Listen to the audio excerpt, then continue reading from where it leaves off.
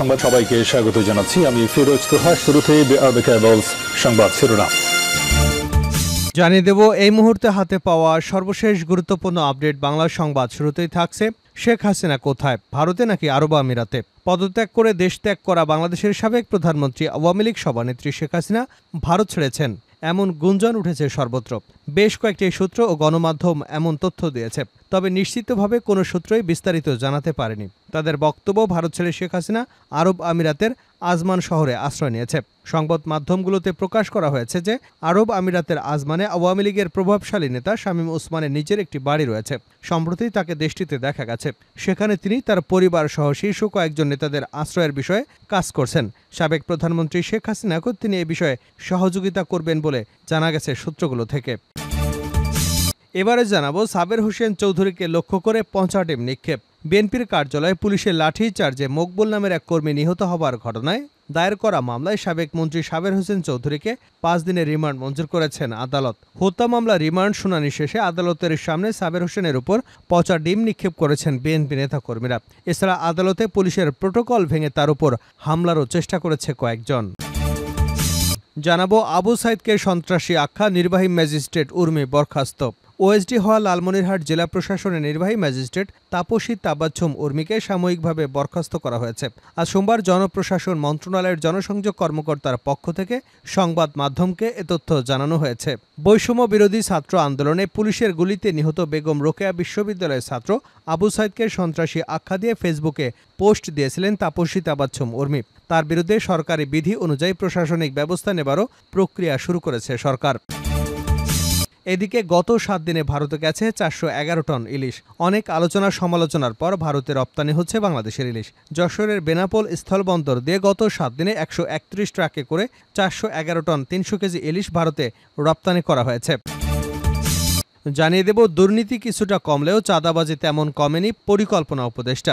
দুর্নীতি কিছুটা কমেছে বলে জানিয়েছেন পরিকল্পনা ও শিক্ষা উপদেষ্টা ডক্টর ওয়াহিদুজ্জামান মাহমুদ। তবে চাঁদাবাজি কমেনি বলে জানিয়েছেন তিনি। সোমবার প্রধান উপদেষ্টার কার্যালয়ে অন্তর্বর্তীকালীন সরকারের দ্বিতীয় জাতীয় অর্থনৈতিক পরিষদের নির্বাহী কমিটির বৈঠক শেষে রাজধানী শেরেবাংলা নগরে এনইসি সম্মেলন কক্ষে সংবাদ সম্মেলনে উপদেষ্টা একথা বলেন। এবং সর্বশেষ জানাব, বাংলাদেশে আসছেন নেইমার। নেইমার ভক্তদের জন্য সুখবর। সবকিছু ঠিক থাকলে আগামী বছরের শুরুতে বাংলাদেশে পা রাখতে পারেন ব্রাজিল ফুটবলের এই সুপারস্টার, যেখানে আল হিলালের এই স্ট্রাইকারকে সামনাসামনি দেখার সুযোগ পাবেন বাংলাদেশের ভক্তরা। নেইমারের বাংলাদেশে আসার বিষয়টি দেশের একটি বেসরকারি টেলিভিশনকে নিশ্চিত করেছেন এই তারকার পারিবারিক বন্ধু রবিন মিয়াম এতক্ষণ শিরোনাম শুনছিলেন এবার বিস্তারিত। প্রিয় দর্শক, আপনি যদি এই চ্যানেলে নতুন হয়ে থাকেন, ভিডিওটি দেখতে দেখতে চ্যানেলটি সাবস্ক্রাইব করে আমাদের সঙ্গে থাকুন। আর এই ভিডিও সম্পর্কে আপনি আপনার মূল্যবান মতামতটি কমেন্ট বক্সে জানিয়ে দিন। আর হ্যাঁ প্রিয় দর্শক, জানিয়ে দিন ভিডিওটি কোথা থেকে দেখছেন। শেখ হাসিনা কোথায়, ভারত নাকি আরব আমিরাতে?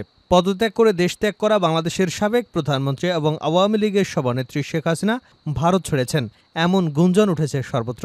বেশ কয়েকটি সূত্র ও গণমাধ্যম এমন তথ্য দিয়েছে। তবে নিশ্চিতভাবেই কোনো সূত্রই এর বিস্তারিত জানাতে পারেনি। তাদের বক্তব্য, ভারত ছেড়ে শেখ হাসিনা আরব আমিরাতে আজমান শহরে আশ্রয় নিয়েছে। সংবাদ মাধ্যমগুলোতে প্রকাশ করা হয়েছে যে, আরব আমিরাতের আজমানে আওয়ামী লীগের প্রভাবশালী নেতা শামীম ওসমানের নিজের একটি বাড়ি আছে। সম্প্রতি তাকে দেশটিতে দেখা গেছে। সেখানে তিনি তার পরিবার সহ শীর্ষ কয়েকজন নেতাদের আশ্রয়ের বিষয়ে কাজ করছেন।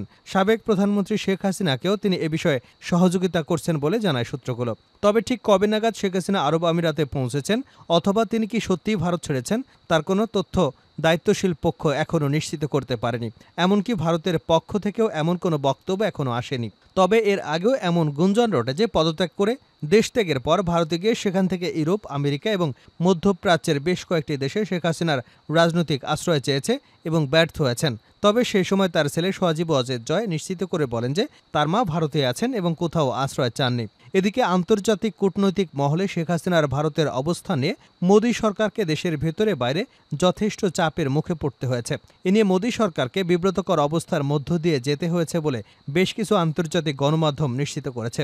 উল্লেখ্য, গত পাঁচই অগাস্ট বাংলাদেশের ছাত্র জনতার গণভ্যুত্থানের ফলে শেখ হাসিনার বাংলাদেশের প্রধানমন্ত্রীর পদ থেকে ইস্তফা দিয়ে দেশ ত্যাগ করে ভারতে পালিয়ে যান। সেখানে তিনি গত দুমাস অবস্থান করেন। দেশটিতে শুধু তিনিই নন, রয়েছেন আওয়ামী লীগের অনেক নেতা এবং শেখ হাসিনার সরকারের সময়কালের অনেক কর্মকর্তাও। সাবের হোসেনকে লক্ষ্য করে পচা ডিম নিক্ষেপ।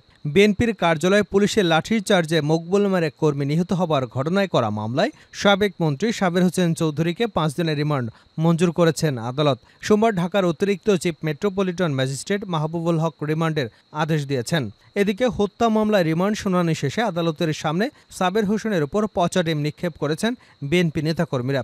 এছাড়া আদালতে পুলিশের প্রোটোকল ভেঙে তার উপর হামলার চেষ্টা করেছেন কয়েকজন।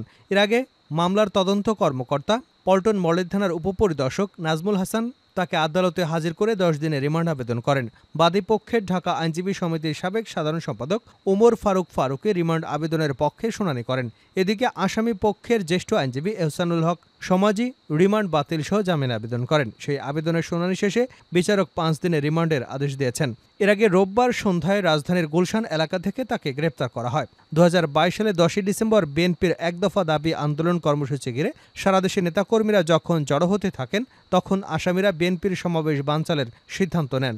দুহাজার বাইশ সালের সাতই ডিসেম্বর অজ্ঞাতনামা, পাঁচশো থেকে ছয়শো জনকে আসামি বিএনপির কেন্দ্রীয় কার্যালয়ের সামনে ত্রাসে রাজত্ব কায়েম করেন। আসামিরা বিএনপির অফিসে প্রবেশ করে ব্যাপক ভাঙচুর চালায়। এ সময় পুলিশ বিএনপির কার্যালয়ে থাকা নেতাকর্মীদের লাঠিচার্জ এবং গুলি করে। এতে মকবুল নামের বিএনপির এক কর্মী আহত হন। পরে চিকিৎসাধীন অবস্থায় হাসপাতালে মারা যান তিনি। এ ঘটনায় মাহফুজুর রহমান নামের একজন গত ত্রিশে সেপ্টেম্বর সাবেক প্রধানমন্ত্রী শেখ হাসিনা সহ দুশো ছাপ্পান্ন জনকে আসামি করে মামলা দায়ের করেন। সেই মামলায় আসামি ছিলেন সাবের হোসেন চৌধুরী।